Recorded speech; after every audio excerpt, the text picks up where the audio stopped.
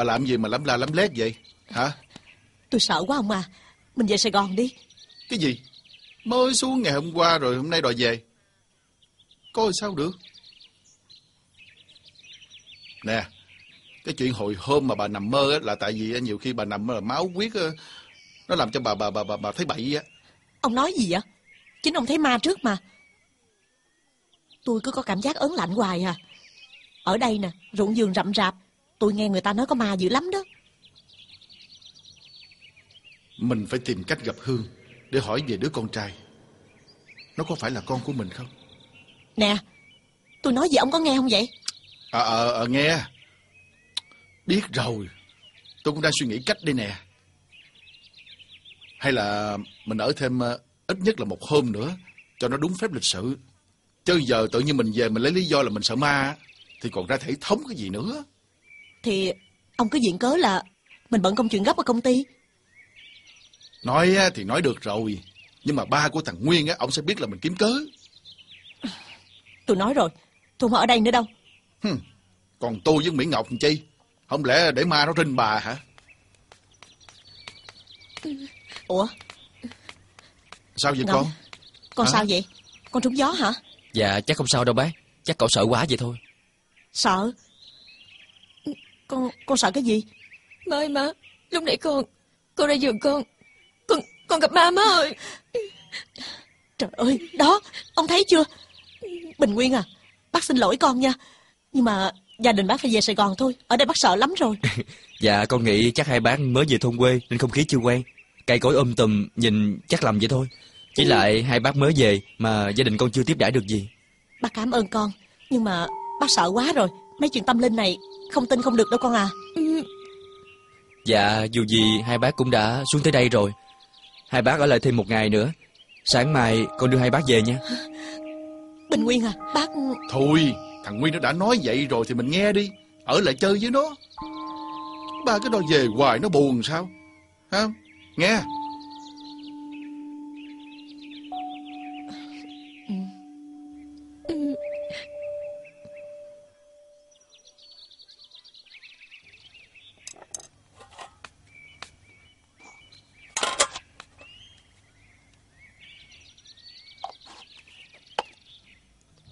Vậy nghe nói à, bà má con chuẩn bị về Sài Gòn hả? Sao về sớm quá vậy? Ừ, dạ tại, tại nhà con có chút chuyện gì à? Ừ. Chứ không phải à, sợ ma hả?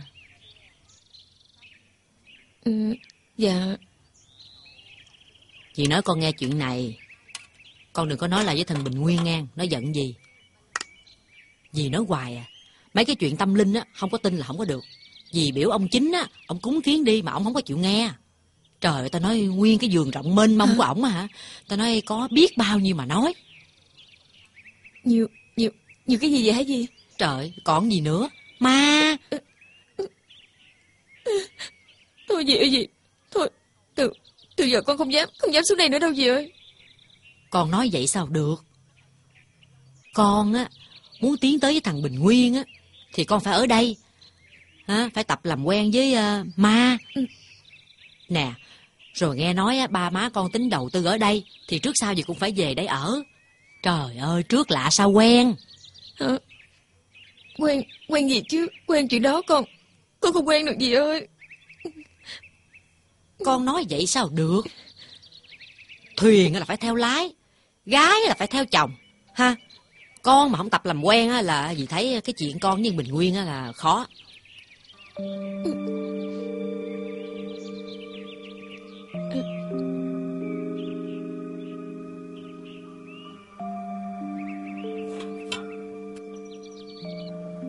Thủy ơi! Cô Thủy! Cô Thủy ơi cô Thủy! Ê.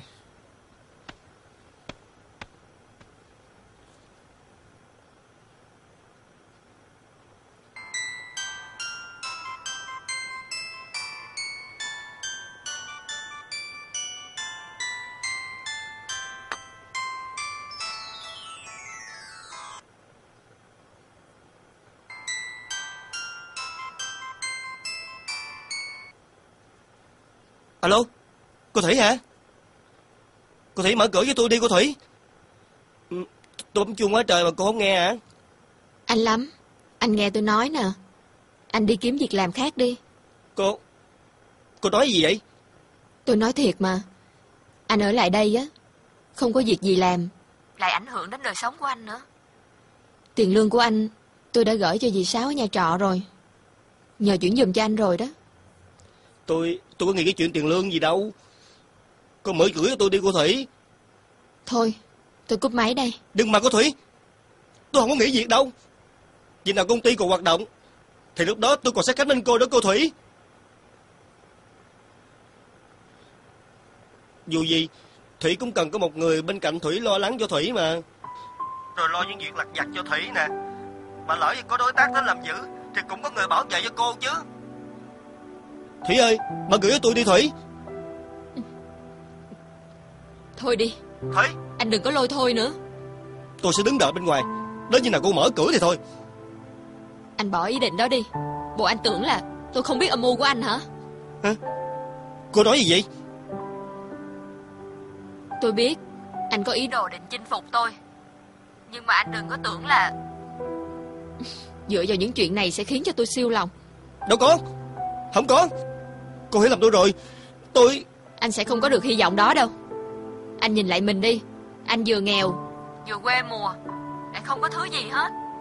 Trong khi tôi lại sắp được đi nước ngoài. Tôi vừa có trình độ, vừa có học thức, gia đình giàu có. Anh nên dẹp bỏ kế hoạch ngớ ngẩn của mình. Mà đi tìm công việc để sống hàng ngày đi. Cô quá đáng lắm à Đúng là Làm mà mất quán mà.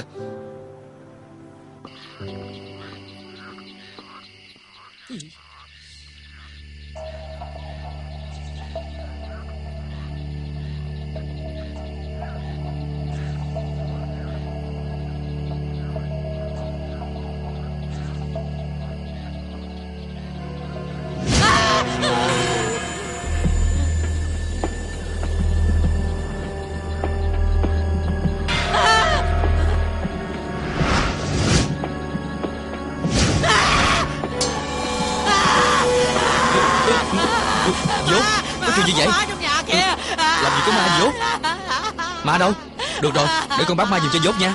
Ma đâu? Vốt chỉ con? Con bắt cho. Nha Lại đây. không.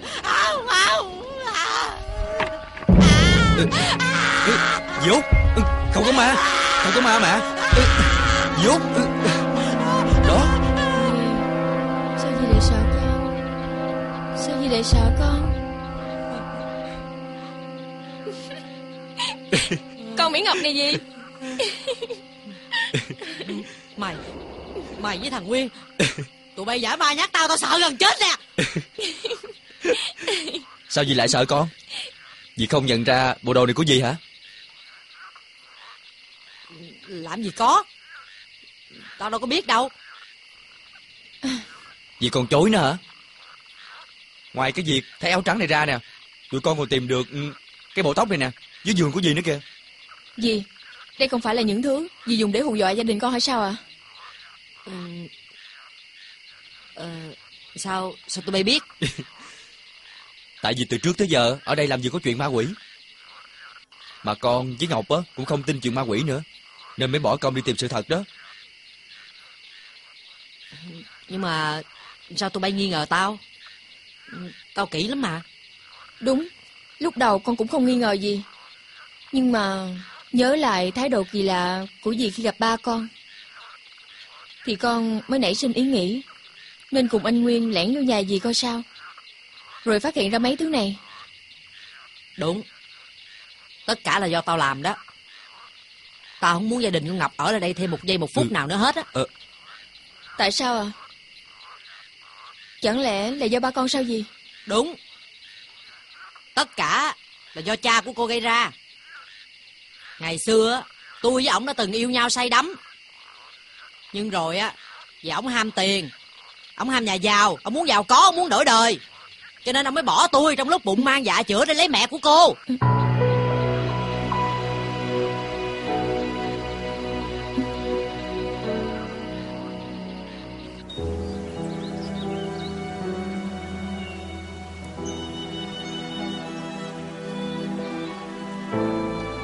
Em còn nghĩ về chuyện của Diễu Phương. hả?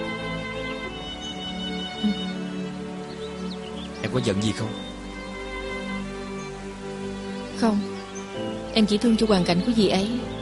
Sau bao nhiêu năm mà Không thể quên được hận tình với ba em ngày xưa. Em nói đúng. Nhưng bây giờ Mình phải tính sao với dì ấy đây. Thôi bỏ đi anh. Dù sao dì ấy cũng chỉ là nạn nhân của ba em thôi. Chuyện dì ấy không muốn gia đình em tới đây cũng là điều dễ hiểu mà. Em thấy Dì Hương cũng không có ác ý gì đâu. Dì đỡ đây bao nhiêu năm? Anh không muốn dì ấy đi nơi khác. Anh sẽ cố gắng hòa giải những mâu thuẫn trong lòng của Diệu Hương, Để mọi người có được một cuộc sống tốt đẹp.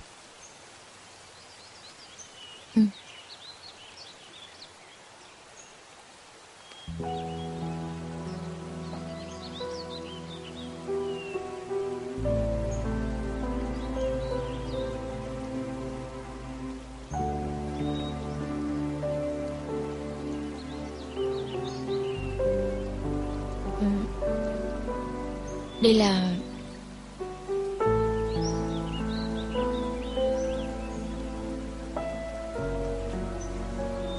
Mỹ Ngọc, Tuy chúng ta yêu nhau không lâu, Nhưng anh cảm thấy Em chính là người con gái của đời anh. Anh muốn Em cùng anh sánh vai, Xây dựng tương lai Trên mảnh đất này. Em có đồng ý không?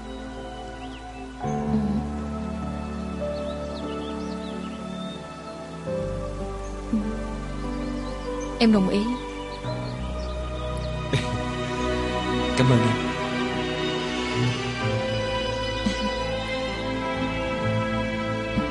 Anh Chỉ cần có anh ở bên cạnh Dù có khó khăn thử thách ở phía trước Em cũng dũng cảm đối mặt. Em sẽ không hối hận đâu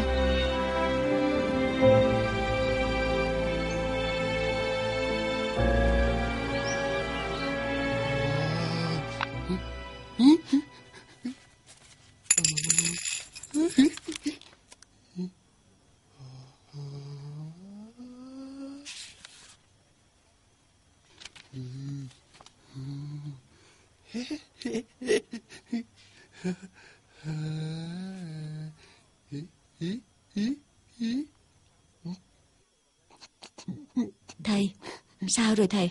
Hai đứa nó có hợp nhau không thầy? Hợp, Rất hợp. Con trai bà mạng thủy, Còn con gái thì mạng kim. Mà kim thì sanh thủy. Con bà mà lấy được cô gái đó đó. Thì sẽ sớm sanh quý tử. Làm ăn phát tài phát lộc Không cần phải suy nghĩ gì nữa. Thật sao thầy? Tất nhiên. Trước giờ tôi coi á Luôn chính xác. Chắc chắn cô gái này á Sẽ luôn là quý nhân phù trợ cho con trai của bà. Nhờ cô ta Mà gia đình của bà đó Sẽ càng ngày càng được vinh hoa phú quý. Vậy thì tốt quá. Tôi cũng đang nghĩ Nó là quý nhân của gia đình tôi. Ừ. Nghe thầy nói vậy á, Thì tôi yên tâm rồi. Cảm ơn thầy nhiều lắm. Để chút uh, tiền tổ ở đây Để thầy cúng cho. Dạ Cái này gửi thầy ạ. Ừ. Được rồi. Cảm ơn bà Dạ.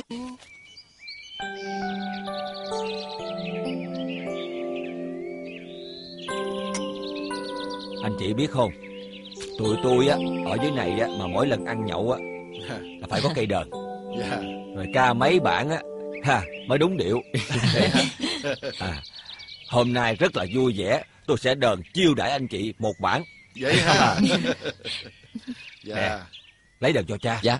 Ừ, Uống ly cho nó thấm giọng anh. Dạ. Vô. Dạ. Dạ mời anh. Rồi cho phép con. Dạ dạ. Dạ Cha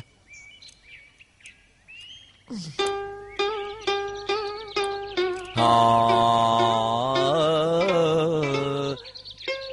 Chiếu cà mau nhuộm màu tươi thắm. Công tôi cực lắm, Mưa nắng dài dầu. Chiếu